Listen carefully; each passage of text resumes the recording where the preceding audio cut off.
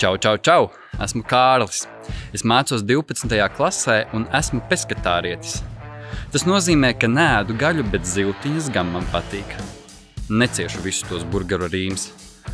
Esmu Edgara labākais čoms un labā roka viņa dažādajos biznesos. To, cik tas viss ir legāli vai nelegāli, es labāk neteikšu, bet kaut kā tā maizīt ir jāpelna. Nu jā, arī vidusskolniekam. Ar senču naudu jau nepietiek, ziniet, un dāmām arī patīk, ja vari ko vairāk par roltonu uzsaukt. Vēl man patīk gaumīgas, acīm tīkamas un ātras mašīnas no Vācijas.